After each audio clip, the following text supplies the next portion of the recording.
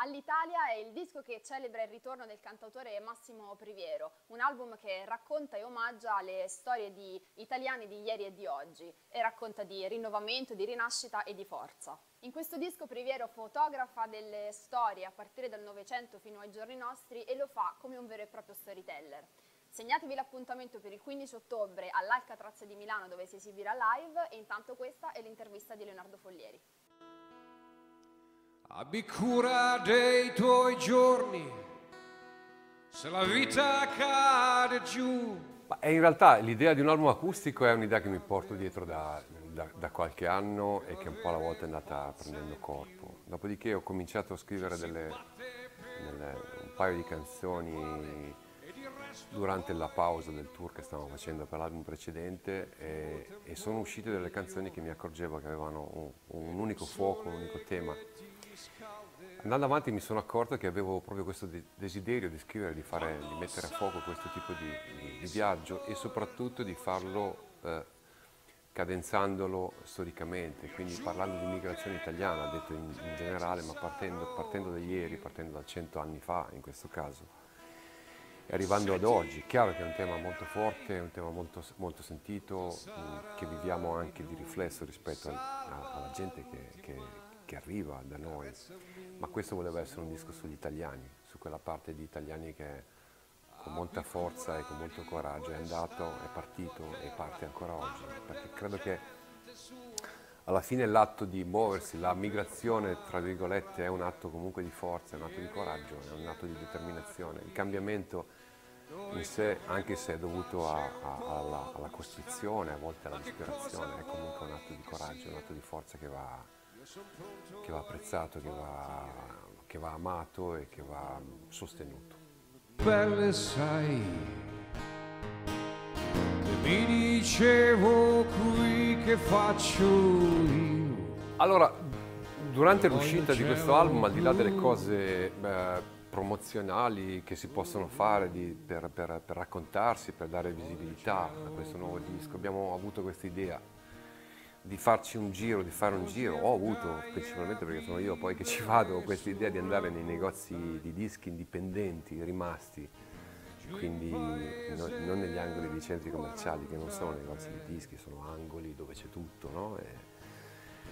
ma questi negozi di dischi rimasti sono stati eh, che sono, eh, sono, stati spesso dei centri di cultura, dei centri di scambio, dei centri di, di condivisione, di, di,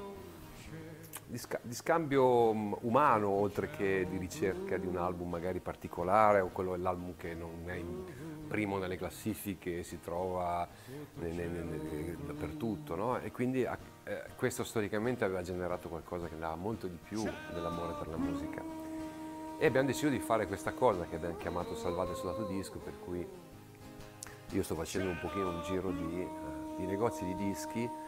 dove incontriamo ovviamente incontro la gente, dove suono, eh, eh, dove racconto l'album, dove questo, si rinnova questo tipo di scambio, questo tipo di, di condivisione in cui, io, in cui, io, credo molto. Eh, sta piacendo molto, devo dire, perché abbiamo, ne abbiamo messi giù una decina di appuntamenti abbiamo una richiesta per almeno altrettanti. Eh,